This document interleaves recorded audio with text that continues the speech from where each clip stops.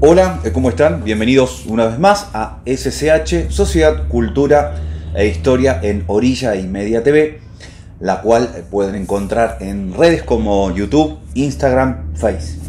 Hoy vamos a tratar uno de los clásicos de la literatura entrerriana, Los gauchos judíos, de Alberto Gerchunov.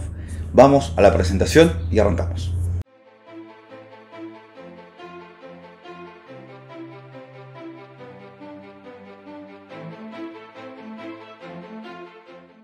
Los gauchos judíos los vamos a dividir en tres partes, como lo hicimos eh, con el libro de Río Abajo de Liborio Justo.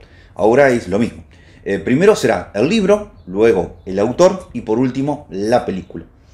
El autor, su familia, de qué lugar de Rusia vinieron, qué significa ser inmigrante, eh, por qué, quién los trajo y mucho más será en la segunda parte este, y la tercera dedicada a la película el cual van eh, a tener enlace para mirarla, las palabras del director, las, vicisitudes para grabarla y la consecuencia de esta película. Eh, hoy es exclusivamente el libro.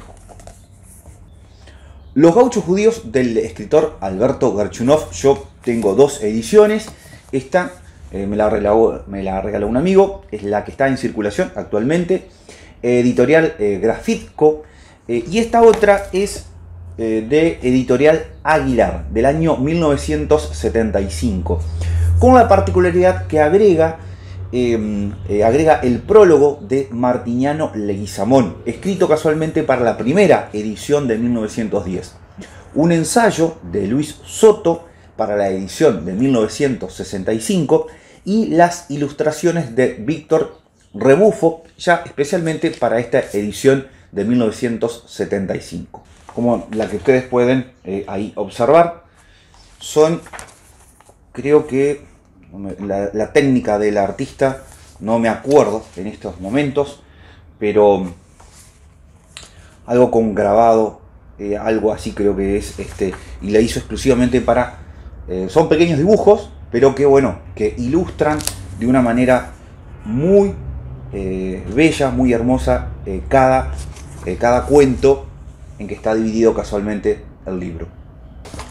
Es un libro pequeño eh, que trata de contar de manera completa y lo más abarcativa posible las vicisitudes de los colonos judíos y cómo se engarzaron con la vida y cultura de los paisanos, del criollo, la gente de acá, ¿no? que ya estaba obviamente. Ese choque de culturas, pero a la vez la necesidad de integrarse al paisaje entrerriano. Algo muy parecido, creo que igual a los alemanes del Volga, eh, digo por los tiempos ¿no? en que inmigraron, con la diferencia que lamentablemente no hay dentro de la comunidad alemana alguien que haya escrito algo parecido. Si utilizamos el mapa que habitualmente les muestro como para ubicar dónde se desarrolla la historia, el libro dice que se centra en Villa Domínguez, colonia Rajil, muy cerquita de Villaguay. Dice Alfonsina Coan eh, con respecto a este nombre. Rajil, Regil, eh, Raquel o Rachel son diversos modos de llamar a la colonia. Estas alternativas lingüísticas responden a las diversas variedades regionales propias de los lugares de procedencia de los inmigrantes. Rachel puede responder a la fonética propia de los primeros funcionarios y administradores que provenían de Francia. Rajil, como la denomina Gerchunov, se relaciona con el modo de pronunciación de los habitantes del Yiddish, de los hablantes, perdón, del Yiddish. Entiéndase que formaba parte de la cotidianeidad, eh, la mixtura de lenguas, el hebreo en las sinagogas, el yiddish en el seno de gran parte de las familias, el castellano criollo, el ruso que persistía en muchos núcleos parentales y la cercanía con vecinos italianos. Además, claro está, del francés de los maestros y funcionarios. Presentado para el centenario de los festejos del 25 de mayo de 1910, una fecha muy emblemática para nuestra historia, tal es el simbolismo para nosotros como para el pueblo judío, Gerchunov lo presenta de esta manera al comienzo del libro. He ahí, hermanos de las colonias y de las ciudades, que la República celebra sus grandes fiestas las fiestas pascuales de su liberación. Claros son los días y dulces las noches en que se elevan los laudes en memoria de los héroes. Hacia el cielo, blanco y azul como la bandera, suben voces de júbilo. Anímense de flores las praderas y de verdes siembras las campiñas. ¿Recordáis cuando tendíais allá en Rusia las mesas rituales para glorificar las Pascuas? Pascua Magna es esta. Abandonad vuestros arados y tended vuestras mesas. Cubridlas de blancos manteles, sacrificad los corderos más altos y poned el vino y la sal en augurio propicio. Es generoso el pabellón que ampara los antiguos dolores de la raza y cura las heridas como venda dispuesta por manos maternales.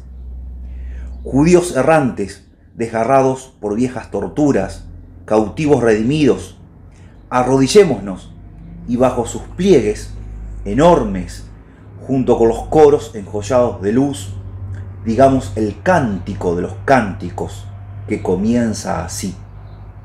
Oíd mortales. Buenos Aires, año del primer centenario argentino. Digamos, ¿no? Qué, qué comienzo para, para lo que significa ¿no? Eh, la Argentina para Gerchunov. Eso lo vamos a ver ya en la segunda parte, que es muy interesante. Los gauchos judíos, en este caso adentrándonos en el libro, su primer libro, conformado inicialmente por 24 cuentos, y luego, en la segunda edición de 1936, se agregarán dos más. Ubicada la historia, como decíamos en Villaguay, Entre Ríos, bien podría ser cualquier lugar de la Argentina, con excepción de la descripción del entorno.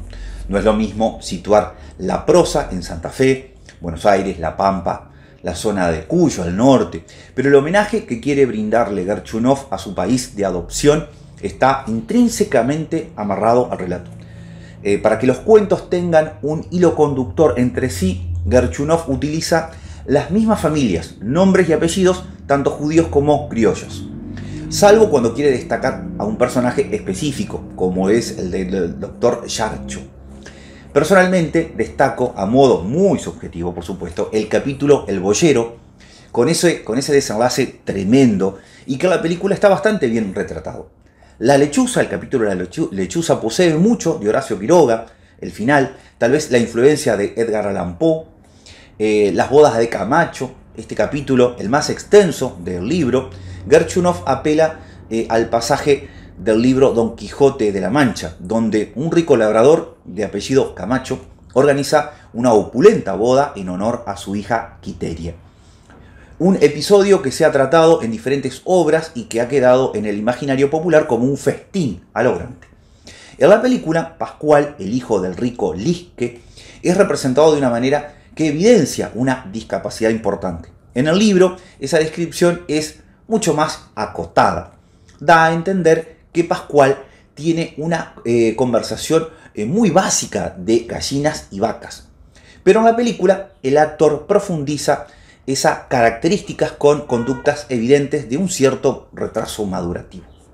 En internet ustedes van a encontrar mucha información con respecto al libro, así que no, no me explayo más. Un libro muy necesario en la biblioteca de cada hogar, de cada familia.